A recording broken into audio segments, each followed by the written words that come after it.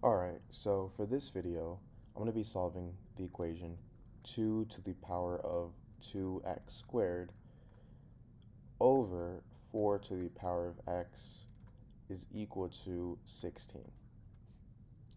So I know at first glance this equation might seem really complicated, but I promise you it's easier to solve than what you think. So let's break this down a little.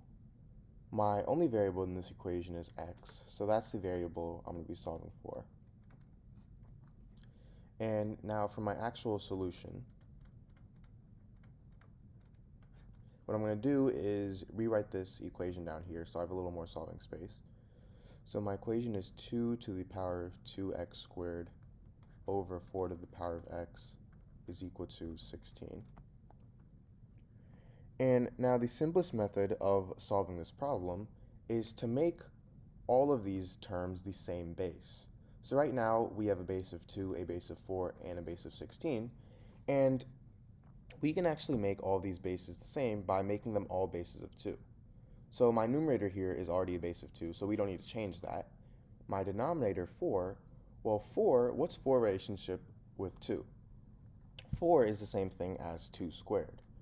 So I get 2 to the power of 2x squared over 2 squared to the power of x is equal to 16, which is the same thing as 2 to the power of 4.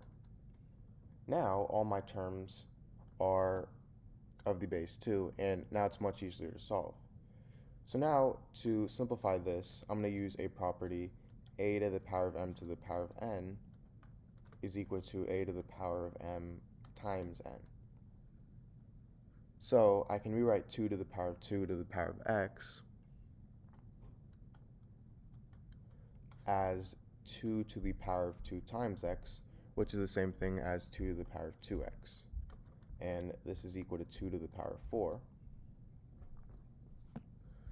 Now from here, if I have something in the form a to the power of m over a to the power of n, this is equal to a to the power of m minus n. So 2 to the power of 2x squared over 2 to the power of 2x is going to equal 2 to the power of 2x squared minus 2x, which is equal to 2 to the power of 4. And now my final property is that if I have something in the form a to the power of m is equal to a to the power of n, as seen here because both my bases are the same, then this means that m is equal to n, or my exponents are equal to each other, meaning 2x squared minus 2x is equal to 4.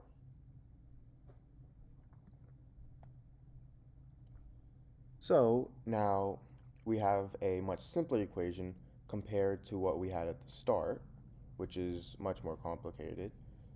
So now from here, what I'm going to do is subtract 4 on both sides. So I can make this a quadratic equation. So now I have 2x squared minus 2x minus 4 is equal to 0. And notice how I have a common factor of 2, so I can factor out 2, and I get 2 times x squared minus x minus 2 is equal to 0. And now if I divide both sides by 2, these two cancel out, and I get x squared minus x minus 2 is equal to 0.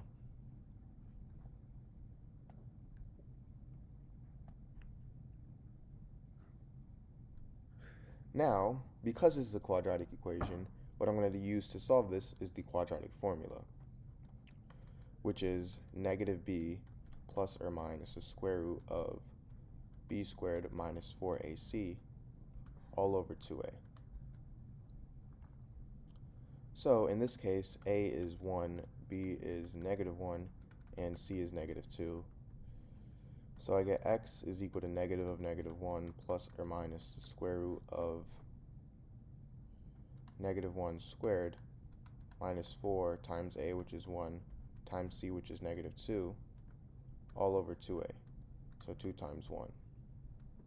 And this is equal to positive 1 plus or minus the square root of 1 plus 8 over 2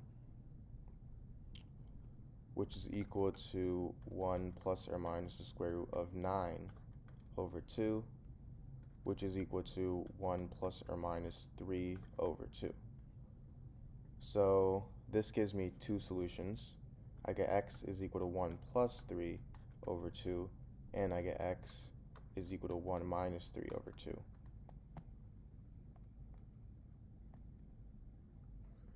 So, for x equals 1 plus 3 over 2, I get x is equal to 1 plus 4 over 2, meaning x, or sorry, I get x equals 4 over 2, meaning x is equal to 2. And for x equals 1 minus 3 over 2, I get x equals negative 2 over 2, and negative 2 divided by 2 is negative 1, so I get x equals negative 1. So these are my two solutions to this equation.